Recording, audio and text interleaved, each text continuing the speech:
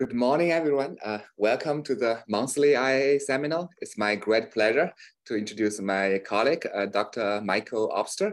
He is an incoming assistant professor of computer science at Johns Hopkins University. That means you're going to see him next fall. So he's currently a postdoc in the machine learning department at CMU. His research focuses on making sure that machine learning healthcare is safe and effective using tools from uh, causal inference and statistics. His work has been published at a range of machine learning venues like NeurIPS, ICML, AI Stats, and KDD, including works with clinical collaborations from Mass General, Brigham, NYU, Langone, and Beth Israel Deaconess Medical Center. He has also worked on clinical applications of machine learning, including work on learning effectiveness, antibiotic treatment uh, policies. He earned his undergrad degree at statistics in Harvard and his PhD in computer science at MIT. So let's welcome Michael for the talk. All right, thank you. I'm going to uh, share my slides. Let's make sure you can all see that all right. Yes, sir. Yes. Excellent. All right. Well, without further ado, uh, thanks everyone for having me. Um, my name is Michael, as you know, and I'll be talking today about uh, some of my work on moving us towards rigorously tested and reliable machine learning for health. Um, so there's a lot of excitement around applying machine learning in healthcare domains. There's an increasingly large amount of data, which we hope is useful for guiding things like treatment decisions, early diagnosis of disease, and so forth. And to ground us in a concrete example, I'm going to talk a little bit to start about machine learning for antibiotic selection. So, antibiotic resistance is a huge and growing problem in the US and worldwide, as evidenced by some of these statistics, as well as some of these uh, sort of scary headlines here at the bottom. And one of the most common settings in which antibiotics are prescribed is that of urinary tract infections. So, UTIs impact most women during their lifetime and result in millions of prescriptions per year. Now, the clinical context is that a patient will arrive with a UTI, and doctors have to decide uh, which of a potentially long list of antibiotics to prescribe. Uh, now, this is an area in which machine learning can help, integrating information about a specific patient's medical history with local patterns of antibiotic resistance to make a recommendation to the doctor around uh, which treatment is most likely to be effective for this patient. Now, that type of that specific example is drawn from work that I've done with clinical collaborators at Mass General Brigham, where we took uh, electronic medical records for a couple thousand patients of this type, and we developed a algorithm based on machine learning to do what I just described. And now, if you evaluate that algorithm retrospectively on historical data, uh, it suggests that there's a lot of opportunity for improvement. Uh, algorithmic recommendations were associated with fewer ineffective antibiotics, as well as fewer broad spectrum antibiotics, which is an important consideration for reducing future resistance. Um, but of course, with any paper like this, you might reasonably say to yourself, okay, you know, this makes for maybe a nice publication, but remember, this is all evaluation on historical data. Um, it's an indication of maybe how this would perform in practice. But when can we rely on these type of retrospective results to actually hold up in the clinic? And so today I'm really going to focus with this type of thing as a motivating example on two concerns you might reasonably have.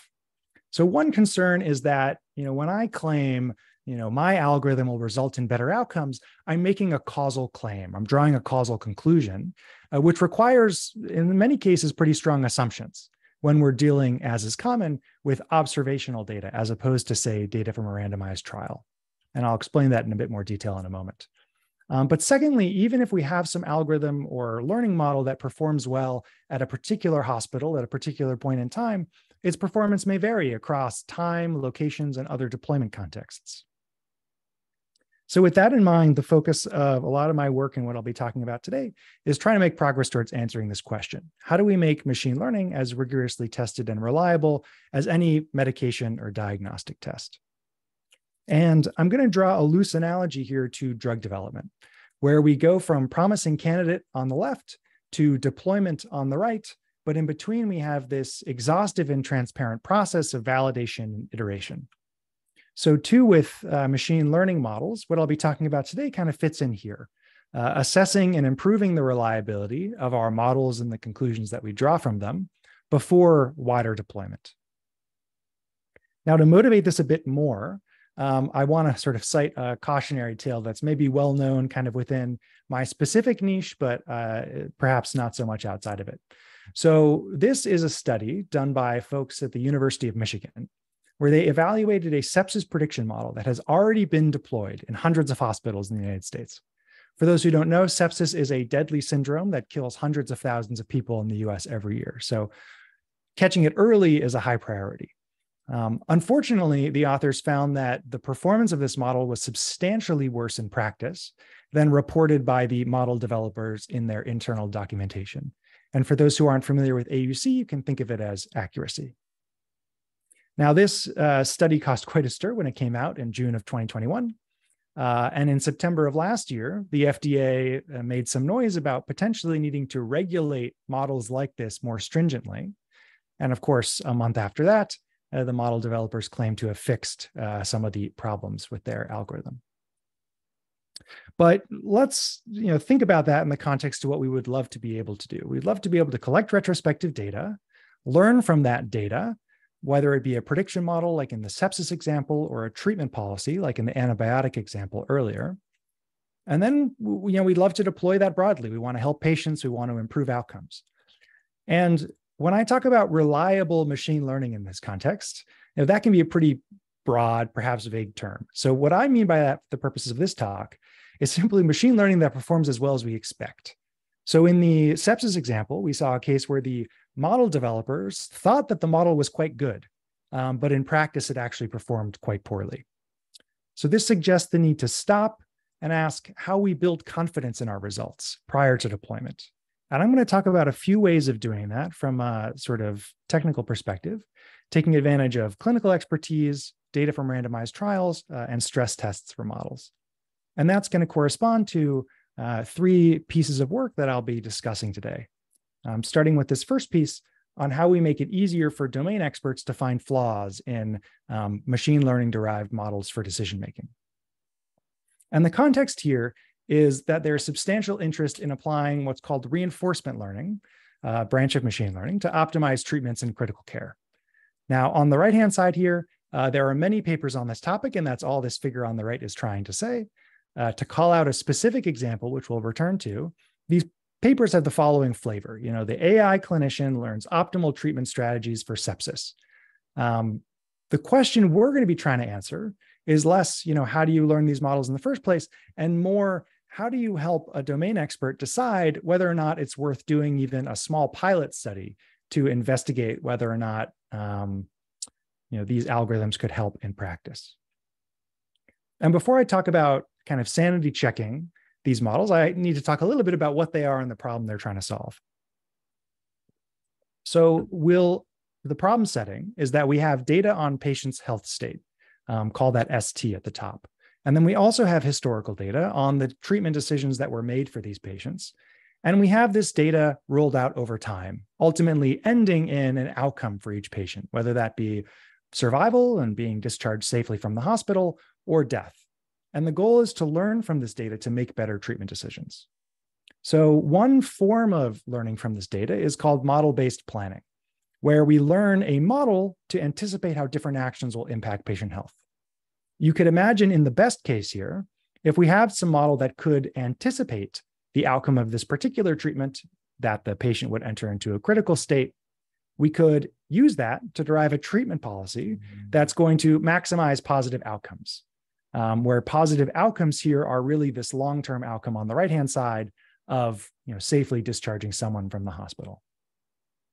So what I've just described is called model-based reinforcement learning where we take our historical data, we learn some model of dynamics, uh, and then we use that model to derive some treatment policy. And the important thing to focus on here is this treatment policy is a kind of black box. You can think of it as something that just takes as input everything we currently know about the patient and outputs a recommended next action.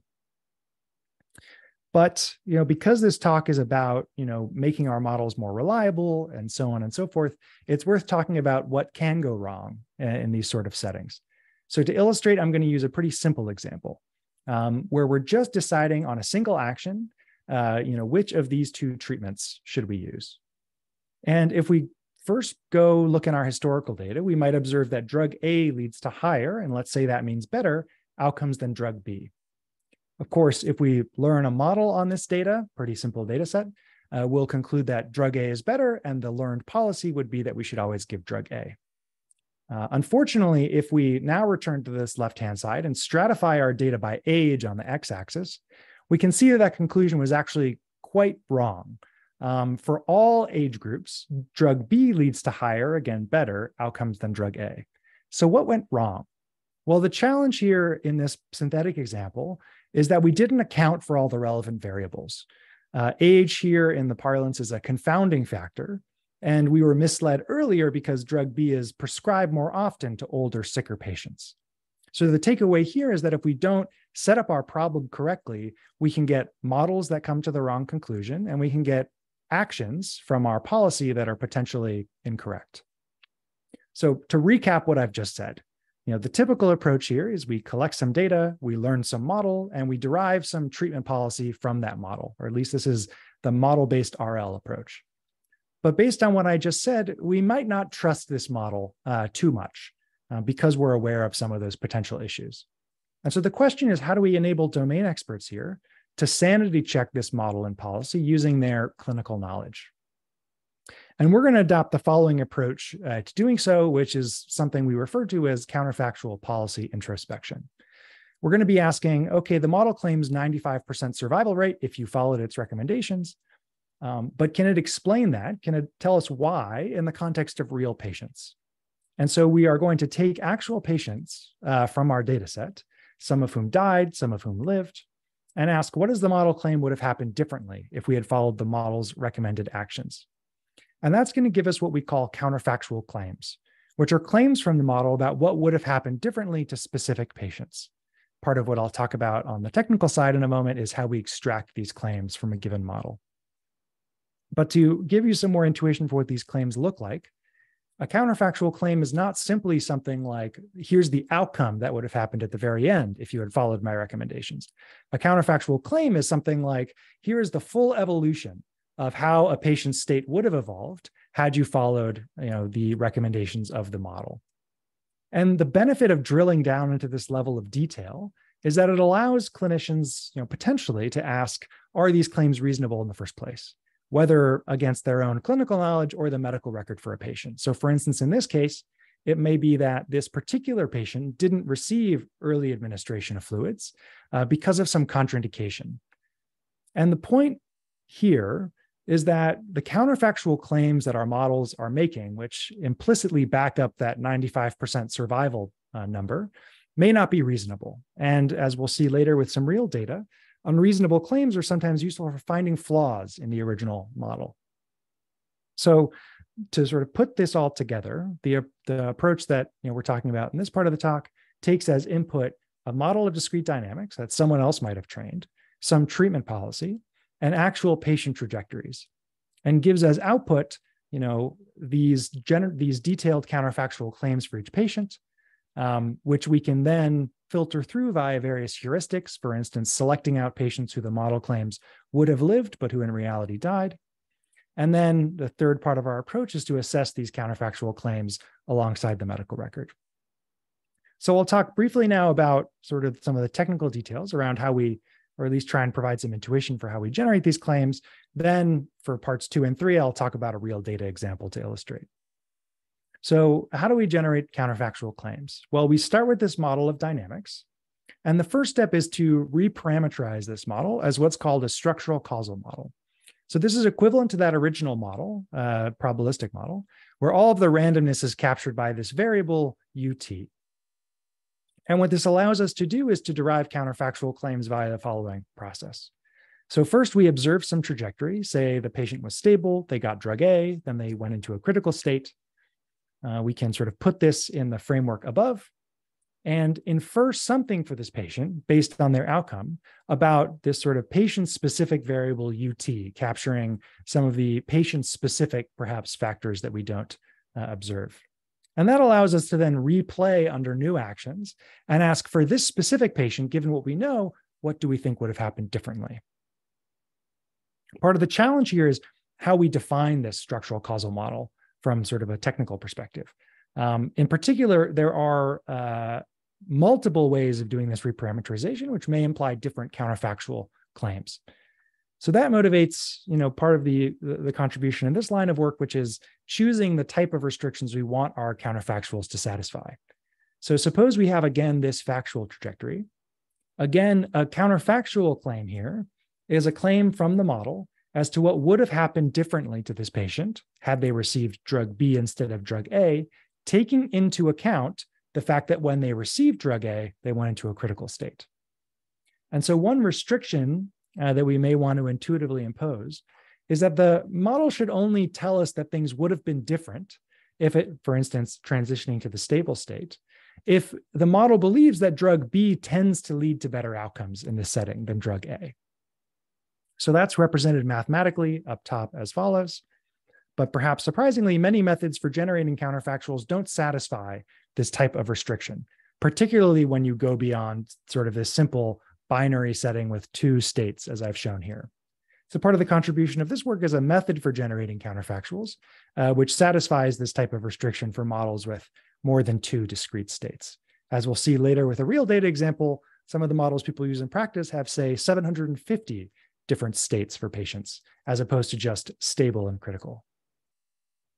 But rather than dwelling on some of those details, I want to move on to talking through uh, applying these counterfactuals to a sort of real model and, and demonstrating these next two steps. So for this purpose, we'll be returning to that paper I mentioned earlier on, this AI clinician paper, where we're going to replicate the model from this paper and then apply our approach to sanity check uh, the model that comes out. So in this paper, they follow the process that I described earlier. They take some data, they learn a model based on that data. This is a model with 750 uh, different states to represent patient health. And they derive a policy from that model um, for treating sepsis. And uh, of course, the, the first step here is selecting out patients who have perhaps interesting counterfactuals. So this is going to be a patient, spoiler alert, where the model is claiming this patient would have survived under the new policy um, when in reality this patient died. So we'll start by reviewing the actual course for this patient, who is uh, a patient in this uh, MIMIC 3 data set. Um, so represents a real person. Uh, and I'll talk more about that in a moment. Um, on the top, what I'm showing are vital signs for visualization. There, in reality, there are many more than this, as well as uh, two actions that are being optimized by the new policy. And the black line denotes the actual trajectory. So what actually happened to this patient um, and the red X at the end of each of these lines indicates the outcome. You know, the trajectory ended and this patient died within 90 days. Um, now, part of the benefit of looking at real patients is we can go back and actually pull up their medical record as well. So going beyond some of the numbers and statistics on the left to actually digging into to more of the story. So I'm not a, a medical doctor myself, but I collaborate with medical doctors. So I asked my colleague here, Dr. Sanjat Kanjilal, you know, okay, reading the discharge notes and so on from this patient's stay, what else do we know about them? And we sort of constructed the following synopsis. So this patient was admitted to the hospital after collapsing at home unexpectedly. Uh, when they got to the hospital, it was discovered for the first time that they had stage 3A lung cancer, leading to lung infection and accumulation of fluids in the lung. Um, and they died in the hospital, unfortunately, two weeks after admission, in part due to complications of this lung cancer. Now, now that we have sort of the full context for this patient, we can now ask, okay, what does the model think would have happened differently if we had followed its recommendations? So that's shown here on the left, where the blue lines denote the sort of counterfactual claims of the model. And we can see on the bottom uh, what the model would have recommended differently in terms of actions. And we can see on the top, uh, in again, the blue line, how it thinks uh, the patient's health would have evolved differently under its recommended actions. And I'm going to sort of walk through this in a bit more detail, but the goal is going to be to ask is this counterfactual claim reasonable given what we know about the patient? Um, and the short answer is, uh, perhaps unsurprisingly, given the uh, nature of the talk, no. Um, but I'm going to walk through it. So, the first thing we observe is that there really isn't a clinical basis for the actions being taken by the model. So, what you can see here at the bottom on the left is that the model is recommending maximum doses of a class of drugs called vasopressors and which doesn't really have a clinical basis uh, for this particular patient. Secondly, uh, perhaps more glaringly and also interestingly, something we can only really see because we have these counterfactuals, is that uh, the model doesn't seem to anticipate the consequences of its own recommended actions. So we would expect vasopressors, a class of drugs that are designed in part to raise blood pressure, to have that effect, to raise someone's blood pressure. But if we look at the mean blood pressure vital sign, we see that the model doesn't anticipate such an increase. In fact, the blue line is almost indistinguishable from the black line on the left. And finally, the model is making a somewhat implausible claim uh, in this trajectory as a whole. You can see that all of these end in a green dot, indicating that the model thinks that at this point in time, the patient would be safely discharged home and survive past 90 days. Now, we know that's implausible in part because we know why this patient actually died, which is due to their lung cancer. Um, and really, realistically, neither of the actions considered by the model would have prevented that outcome. And so we can, on the one hand, conclude okay, maybe this counterfactual is a little unreasonable. But interestingly, by drilling down into this level of depth, we also realized something, which is that this factor of lung cancer, you know, this important fact about the patient, is actually not something that was included in the original model. And so that to wrap up this part of the talk, that sort of points to you know how we hope to use tools like this in practice. So we've developed our model in our policy based on our data you know the first step that we've talked about is extracting these kind of counterfactual claims which we can then assess by the medical record and clinical intuition and the hope you know not a guarantee but the hope is that by doing so we might be able to identify flaws in problem design. Like in this example where we discovered that there were potential missing confounders like lung cancer which actually weren't included in the original model enabling us to perhaps go back you know repeat the process of training and sort of reevaluate. Um, but I'm going to move on from that example now um, to talking about other ways of kind of incorporating um, perhaps domain expertise in a sense into the learning of sort of treatment policies with machine learning. And here I'm going to focus less on incorporating, you know, a doctor's expertise through that kind of manual review and more on incorporating gold standard data when it's available. And so in particular, our motivation here is going to be to try and get the best of both worlds on the one hand, randomized control trials are a gold standard in medicine for a variety of very good reasons. Um, the most important of which is that they are randomized. So that whole problem I had before, you know, did we measure all the right confounders, for instance, isn't a concern in a randomized trial. Um, the challenge is that they have strict eligibility criteria and are often much smaller scale um, than observational studies shown here on the right, which have this major problem that they might be confounded um, but tend to be more representative uh, and much larger scale. And so the motivation here is going to be how do we use limited experimental data um, when it is available to us? So, as I said before, um, sorry, as I said before, uh, randomized control trials have strict eligibility criteria. One example of that um, is that pregnant women were not included in the original uh, COVID 19 vaccine trials. That's a, perhaps a broader topic for discussion, um, but it's an example of the fact that randomized controlled trials often don't include the full diversity of patients that we see in the real world. Meanwhile, in observational studies, that's data from treatments actually being given in the wild, so to speak, uh, it's often a more representative type of data set, but may be subject to these problems like confounding. So the contribution I'll be talking about from this line of work is a method for using randomized controlled trial data to generate valid confidence intervals on causal effects in these types of underrepresented groups. Um, and now, before I proceed, I that was a bit of a mouthful. Valid confidence intervals on causal effects. So I'm going to define some terms. The first is a causal effect. What do I mean by that?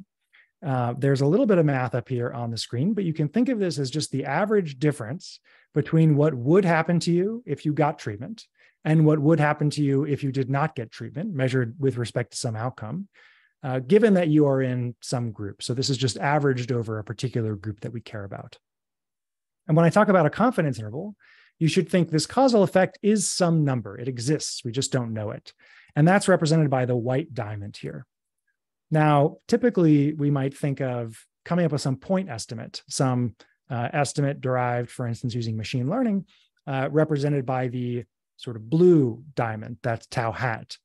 Uh, but what I'm really going to focus on today is providing these confidence intervals, where when I say something is a valid confidence interval, you should translate that as, you know, if I say this is a 95% confidence interval, then these brackets should contain the true value, that is the white diamond, at least 95% of the time.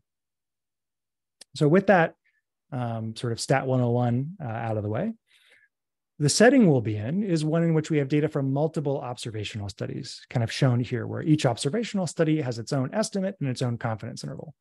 Now, this is actually fairly common in the setting where, for instance, you're running a distributed uh, network study where data is analyzed separately at individual sites, individual hospitals, and then the results are aggregated centrally um, because of privacy concerns with sort of sharing data from all the hospitals. And so the question then becomes now that I've got my hospital specific estimates, how should I aggregate that evidence across multiple sites or multiple studies? And a standard meta analysis approach would have you assume that all of these studies are in some sense valid, like there's no confounding at any of these sites. Uh, and in this work, what we're going to do is to relax that type of assumption to instead assume that at least one of these studies is valid, though we might not know which one. And so the ingredients required for that uh, are going to be twofold. One, these estimates from a randomized trial, though recall they don't include estimates for the population we care about, and estimates for multiple observational studies, where this, again, this main assumption is just going to be that at least one of those observational studies uh, was valid in some sense. And the approach is going to proceed in two steps. And I'm going to walk through the intuition uh, to give you sort of a flavor. The first step is quote unquote validation of observational studies on shared subgroups. And the second step is pessimistic aggregation. And I'll explain why that word validation is in quotes. So, this first part is validation. Um, again, we have estimates from each of those three observational studies for this population, but we do not have an estimate from the randomized trial shown at the bottom. What we do have, though, is estimates from the randomized trial for other subpopulations. Um, and so the first simple idea is to compare estimates on those shared subgroups uh, to understand if our observational studies are agreeing with that kind of gold standard estimate. Now, insofar as they agree, we give them a green check mark. And insofar as they significantly disagree, we use that as evidence to remove studies as potentially being contaminated by confounding bias or other concerns. Now, the second challenge, and the reason I used validation in quotes before, is that just because something has passed that basic filter doesn't guarantee that it's free of confounding and that it's completely uh, accurate. For instance, we may have failed to reject studies simply because we don't have enough data to conclude that the estimates are inaccurate. And so the question becomes how do we aggregate then across the studies that remain? And so what we demonstrate, you know, in part in our work is that a relatively simple approach, once you've done that first approach, uh, again, under this main assumption that at least one of the original three was correct, uh, is to take a union of the confidence intervals that remain. And we demonstrate that this provides uh, a valid confidence interval in the group that we care about. Now, to evaluate this sort of algorithm in a bit more detail on some real data, we turn to the Women's Health Initiative dataset, um, which is really valuable for evaluating methods like ours because it consists of both a randomized trial uh, as well as an observational study on the same treatment uh, collected in parallel. And so to evaluate our approach, we're going to generate some additional data sets with artificially induced selection bias. That's going to give us our multiple observational studies. Uh, and then we're going to hold the subgroup out of the randomized trial um, and treat that estimated effect as the ground truth that we want to recover without using data from that subpopulation of the RCT. So using kind of the data shown up top, uh, we apply our method, get a confidence interval, and then the way we'll be assessing our confidence intervals is whether or not they actually capture this ground truth estimate, the red diamond. This will be repeated several times. Now, the takeaway of all that uh, I'm going to show in a moment. But first, I want to talk about how you evaluate approaches like this. So, the first thing we care about is called coverage, and we want that to be high. That is the percentage of time that our intervals cover the RCT estimate. And the second thing we care about is length. We want that to be low. We would like the smallest possible interval that still achieves good coverage. And we'll compare here to an Oracle baseline. Um, recall that the what we're doing here is we've got our original observational study plus five artificially biased ones. The algorithms we consider don't know which ones are biased, but the Oracle is the one that only uses uh, data from that original observational study, the least biased one in some sense. Then uh, a, meta, a standard meta-analysis approach, which assumes that all of these observational studies are unbiased, uh, gives somewhat poor results, uh, poor coverage in particular. Um, a variant of our method, uh, XOCS here, uh, assumes that all of these studies which pass the hypothesis testing phase are free of bias and then proceeds like a meta-analysis and does a little bit better. Um, but again, uh, doesn't account for the fact that just because you pass the test doesn't mean you are free of bias. And then our approach, uh, XPCS or extrapolated pessimistic confidence sets, uh, gets similar coverage and interval length to that oracle shown at the bottom. So with that, I'm going to wrap up this part of the talk. Uh, we've talked about here a method for using RCT data when it even when it doesn't include the population of interest to nonetheless help us estimate co uh, causal effects in these populations. And the key idea was we use the RCT data to relax the typical assumption that all of the observational studies we have access to are unbiased, instead assuming just that at least one was unbiased. Um, but with that, I'm going to move to sort of the final part um, of the talk today. Switching gears a bit to uh, prediction models.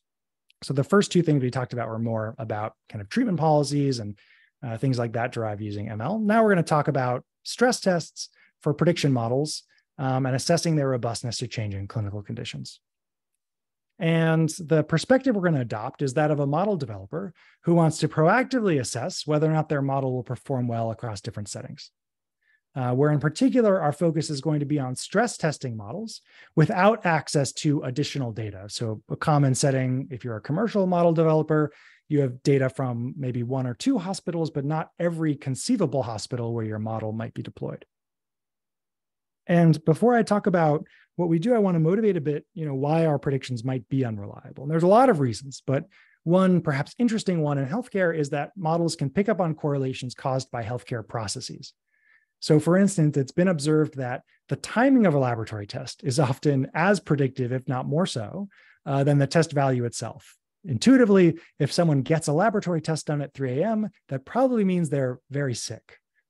Secondly, you know, deep learning models have been shown to you know pick up on and rely on so-called spurious correlations correlations between things like the x-ray scanner brand and disease correlations that are induced by something about the way in which x-ray scanners are assigned to patients so the question will be you know how sensitive is our model to these types of changes and correlations as well as potentially many others and so with that in mind we're going to proceed in kind of two steps the first is to define the set of changes that we're worried about that's step one um, and secondly, to actually kind of find the worst case change and evaluate worst case performance. Um, and I'm going to talk about that in a bit more detail. Um, but once I do, I'm going to talk a little bit about what this is useful for here at the bottom in terms of informing model design there on the left and yielding insights into the vulnerabilities of our models on the right. But this is the kind of cartoon I want you to have in mind as I go through some of the more perhaps technical stuff. We have some model, and on the original data, it has some accuracy, like 90%. And we're going to be asking questions like, how would our model perform if we went to a hospital where the only difference was that patients were sicker? So disease prevalence on the x axis is higher. Or if we went to a hospital where there was less availability of testing, uh, or some hospital that differs along multiple dimensions. Now, of course, there will be many more dimensions in practice than just these two, but that's all that I can visualize on a slide. Um, so the way we'll formalize this is to say we have a fixed predictive model and samples from that original distribution. And the goal here is going to be to specify a set of plausible alternative distributions. That's kind of this red squiggly area, where each distribution corresponds, you can think of it uh, as a hypothetical hospital. And then the question becomes what's the worst case performance, like the worst case accuracy over this set uh, for, again, our fixed original model and which distribution in particular would lead our model to perform most poorly. And so now I'm going to talk about sort of both of those pieces in a little bit more detail, um, where I've just sort of distributed them now sort of horizontally across the slide. The first part is defining this set. I've described it very informally, and now I'm going to formalize it a little bit, the set script P, which we call a parametric robustness set. Then the second step is, you know, it's easy to understand what we're trying to do. I won't talk in too much detail about how we do it, but we simply want to sort of find the distribution that causes us to perform most poorly. And then this expression on the right, it, eh, you can think of the supremum as a maximum. So this is the maximum expected loss of our model, um, where the maximum is taken over those distributions. But I'm going to spend more of my time talking about this first piece here. Um, and I'm going to illustrate our general approach with a sort of specific um, illustrative example. So suppose that our data is generated in the following way. We have patients, they have some uh, risk factors, medical history, et cetera. Based on those factors, they either do or do not develop some disease. Uh, then, when they come to the hospital, based on a combination of their history as well as perhaps symptoms of that underlying disease, a doctor does or does not order an x ray. And then, if an x ray is ordered, we have the x ray scan available. And you might imagine training some classifier based on those three inputs on the right hand side to predict whether or not someone has disease in the first place. And the question, and a, a question you might have thinking about changes in clinical practice is what happens if there's some change in the availability of x-ray scanning, either going from one hospital to another or over time. And we're going to use that example to build a, a sort of set of plausible alternative distributions. So first step is to specify translate this into a specification of what can change sort of more formally.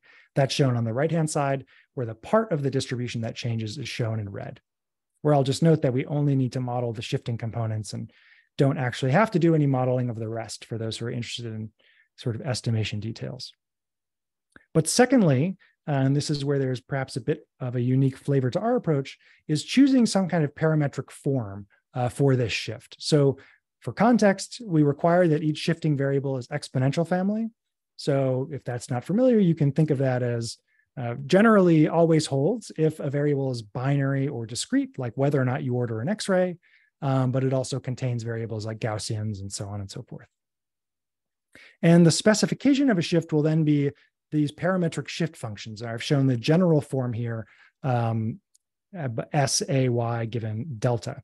Um, any parametric function can get plugged in here, which is a nice piece of generality, but perhaps not as helpful for uh, maybe understanding the simpler cases.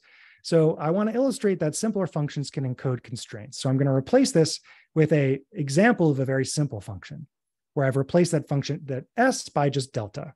And what we're capturing here is a class of plausible distributions where each one corresponds to a uniform increase or decrease in the availability of X-ray scanners. Now I'm going to return to this cartoon that I had on the left, and now I can formalize it a bit more, um, where these axes correspond to the value of these two parameters, delta 1 and delta 2 on the right-hand side. And this set of distributions is then just indexed by those parameters. And the benefit of this is that we can not only say something like, okay, our worst case performance goes from 90% accuracy to 70%, but we can actually pull out a description of what that worst case distribution is.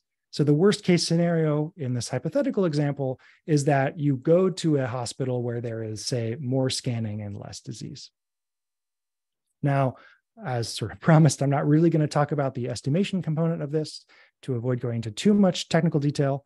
Um, but at a high level, if you're familiar with this sort of problem, um, we introduce an alternative here to kind of standard reweighting based approaches for estimating that inner expectation, which maybe plays a bit nicer with this type of optimization problem, um, at least empirically, uh, and so on. But instead of dwelling on that, I, I sort of want to move on towards, you know, what is this useful for? Um, you know, if you have a good way of doing worst case evaluation. And the first component um, that I want to highlight is that you know, fine grain changes can help inform model design trade-offs.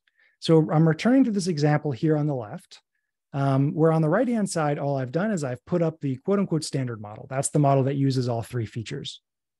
And the reason we care about sort of constraining these changes to be plausible is that you know a model developer may be making trade-offs between different modeling choices. So here, for instance, uh, on the right-hand side, I'm showing now two models where they only differ in their inputs, where the invariant model, quote unquote, is the one that only makes use of medical history and age. Um, now that model is, I'm calling it invariant for some uh, reasons related to the literature on causal prediction, um, but we can also see that it's invariant if we look at how these two models perform in comparison to one another.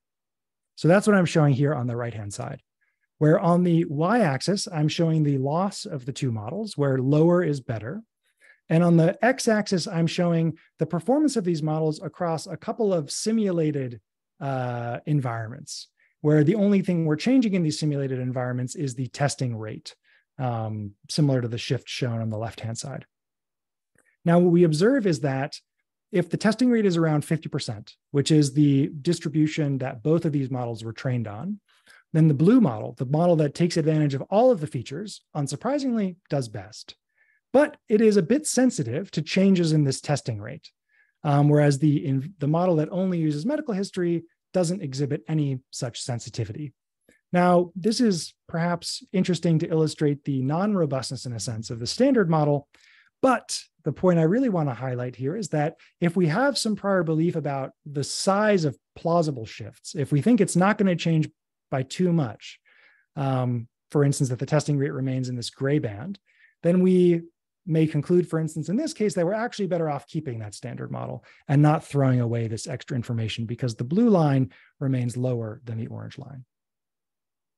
Now, uh, having talked a little bit about informing model design by worst case analysis, I want to also talk about um, how this approach can yield insights into vulnerabilities. So for this purpose, uh, I'm going to use an example from image classification, a particular example where we know that models can pick up on perhaps spurious uh, correlations in data, and that is gender classification. Um, now we'll be asking the question, okay, suppose you have a gender classification model um, how sensitive is that model to potentially spurious relationships between the label and other attributes of the image? And on the right hand side, I'm showing an illustration of the types of variables we're talking about, where we're allowing for changes simultaneously uh, in the distribution of all of these other variables except for the label itself. Um, now, these are all attributes that we observe in our data set. Um, and down there at the bottom, I'm showing the form sort of more mathematically, a change in the distribution of z given y. And just like my hospital example before, um, this parameter delta is going to not only describe the set of possible distributions, um, but as we'll see, it will also uh, give us some description of the worst case distribution itself.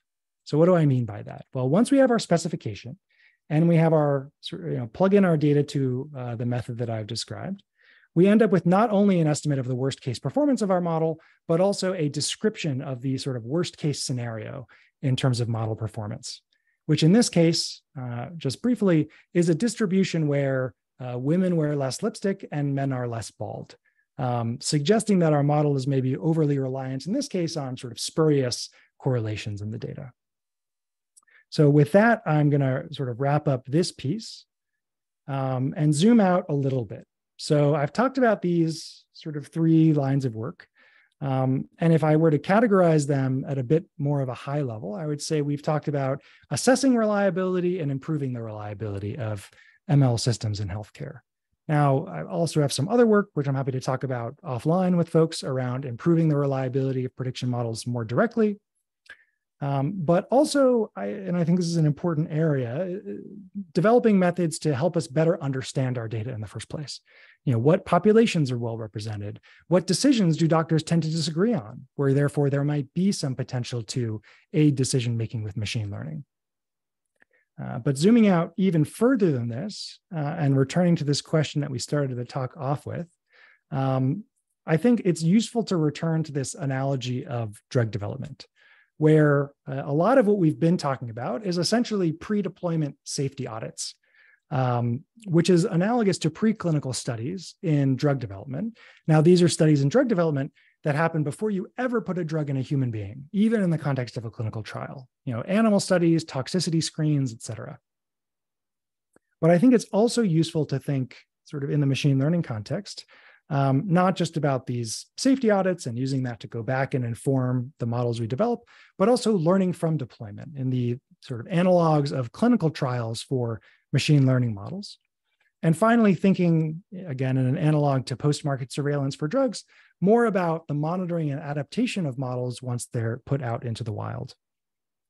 And I have some sort of open questions that uh, I think are perhaps interesting to discuss. Happy to do so in the Q&A or you know offline as people desire. Um, but one, uh, one thing that I think is interesting in the pre-deployment safety audit space is how we think about um, scaling up these sorts of auditing mechanisms for models that are trained on internet scale data. So there's a push now towards uh, large models of all kinds, large language models, and so on and so forth, um, foundation models, et cetera, where the hope is by using bigger and bigger data sets, we can get better and better models. A challenge is that bigger and bigger data sets often means less and less well curated data. Um, so I think there's an interesting challenge in scaling up the types of uh, methods I've discussed here for that type of setting. Secondly, uh, when you talk about learning from deployment, um, one way in which machine learning models are not like drugs, so I may be overusing the analogy, is that they're changing, you know, or at least we would like to be able to update our models as conditions change. So suppose you run an expensive randomized trial for a machine learning model. Uh, you would hate to have to rerun that randomized trial every time that you retrain the model. And so I think an interesting set of questions lies around how you formalize that problem um, and when you can sort of convince yourself that actually that's not uh, necessary to do by thinking through uh, generalizable learning of the causal impact of deployed systems. And finally, uh, I think there's a lot of interesting work to be done around how we monitor these systems, adapt them to new settings, um, but do all of that in a kind of controlled and transparent way so that we're not invalidating all of the prior work um, that we've done up to deployment and making them robust. Um, but I'm going to sort of end there, uh, and I'm happy to take uh, questions. Michael, thank you. Um, so we have uh, some questions trickling in. Uh, first of all, please put your questions in the Q&A box. I know panelists can directly ask the questions. Uh, we have a question from Andrew Ben. Uh, the question is regarding the accessibility of the data, right? So, so how do the limitations in the availability of open access fully featured medical data impact this work? Um, so yeah, and that's a great question. I think um,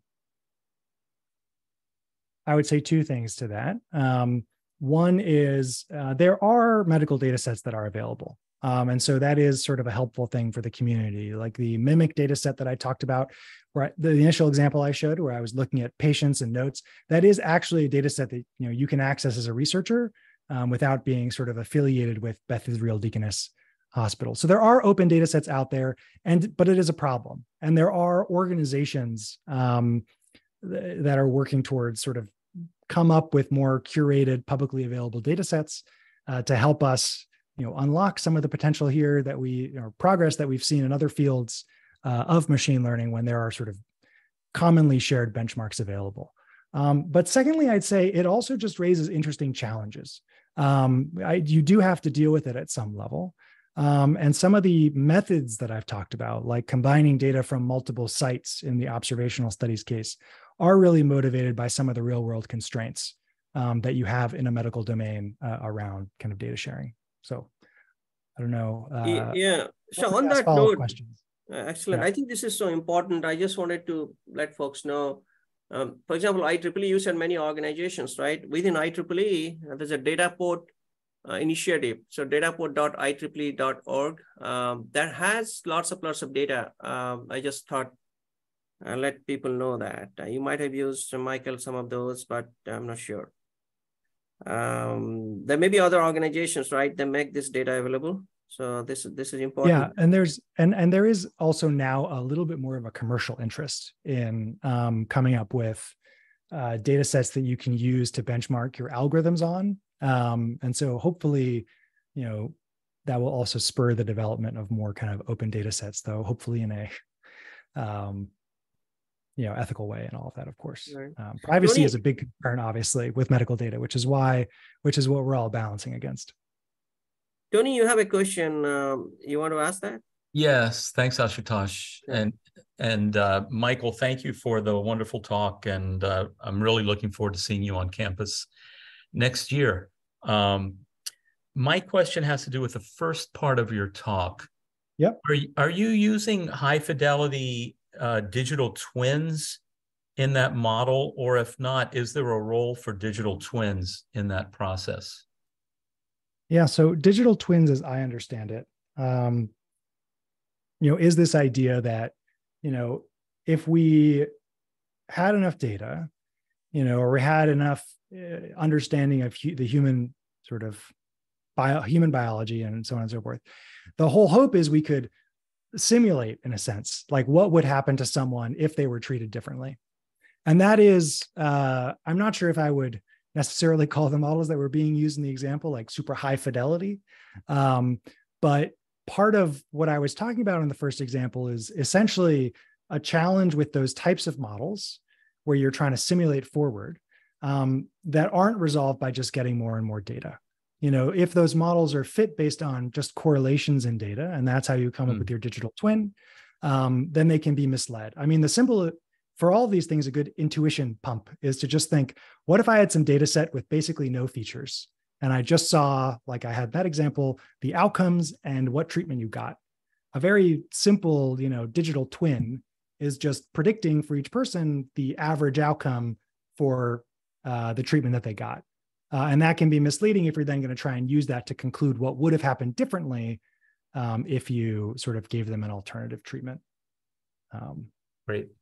Thank you. Helps. Yep. Uh, all right, folks, if you have any question, uh, please put it in the Q&A box. I have a question myself, Michael. Um, and on this specific slide that you're showing, uh, one mm -hmm. of mm-hmm. the thing you have like widespread deployment. Yeah. How do you, have you, have you tried to see the potential challenges? Uh, what are the road roadmap to that? Yep, for sure. So the, um, the antibiotic, uh, well, okay challenges to widespread deployment. Um, there are obviously technical challenges uh, as well as logistical and just administrative challenges uh, with widespread deployment of systems. Um, so there's a lot I could talk about. I think I'll focus on, um, you know, the way there is a lot of work being done to ease the technical like infrastructure barriers to deploying something broadly. So um, a lot of medical records companies, there's a couple of big ones like Epic Systems, which I mentioned earlier on, um, have developed you know app stores of a kind um, to help uh, make it easier to deploy models on their infrastructure. There is uh, government mandated um, aspects of this, which require a certain amount of interoperability. Um, and on the academic side, there are people who are working to come up with you know data models, uh, ways of structuring your data such that someone can write code against that standard database specification that will then work on many different health systems data. Um, so there's barriers coming down in that sense. Uh, so one of the main challenges becomes sort of how do you evaluate, how do you trust these models? Like how do you know whether or not a model that someone else developed will actually perform well at your health system? Um, and because there is you know a cost to implementing a lot of these things um, that is something that uh, i think health systems are you know thinking through a lot right now which is just sort of how do you do uh, how do you tell if something is actually a good fit for your patient population um, anyway there's lots of other challenges yeah. but those are uh, just thank you we have two more questions in the in the q&a box uh, from john uh, which aspects of overall process are specific to healthcare application uh, in which directions can it be readily extended to other domains? So basically applicability of this. Yeah, of course.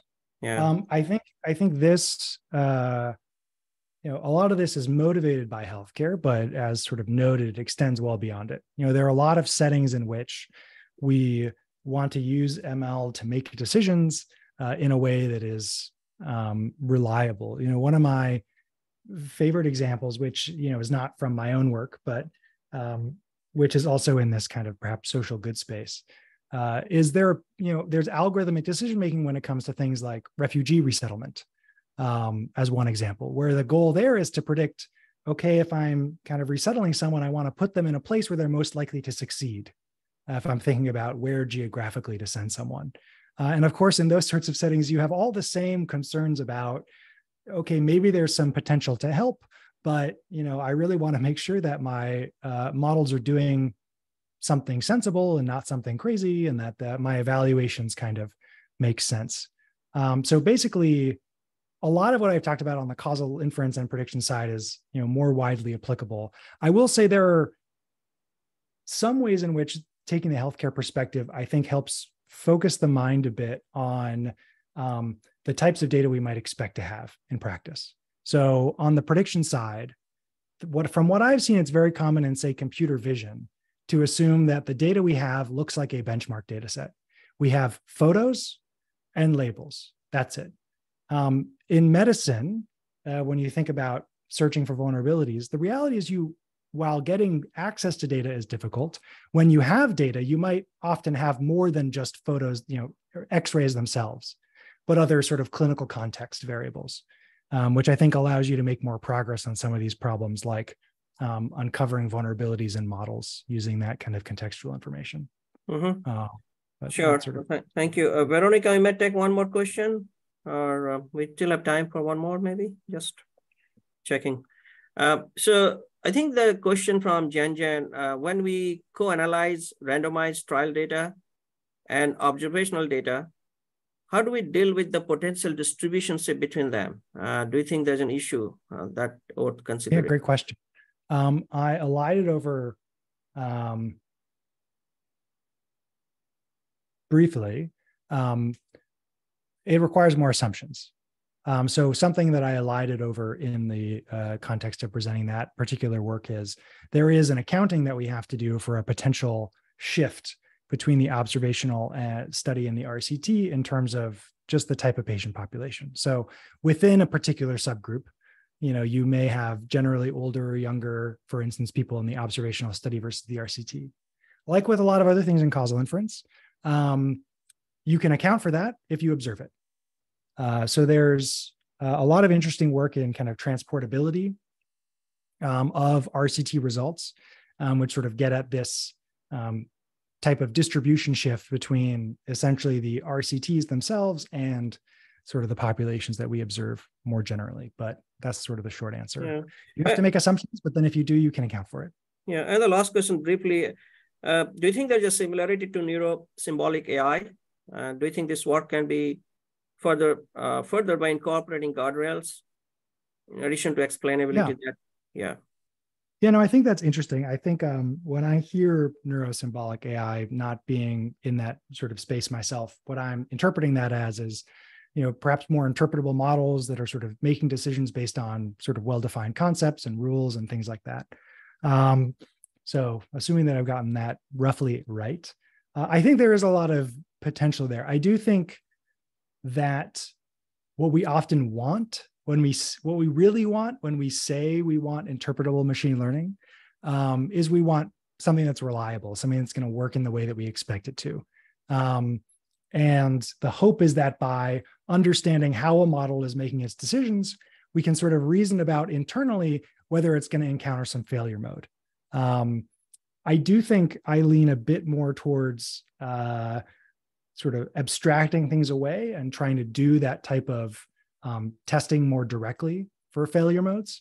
Um, but I do think that the approaches complement one another. I think that's all we have. Uh, thank you for an excellent talk and so interesting to see how this can be used for not only health domains, but other domains as well. Um, so with that, Veronica, I think we are done for this. So thank you everybody for attending and asking questions. Uh, I hope to see you next Thank year. you all. Michael. Yeah. Yeah. Appreciate it.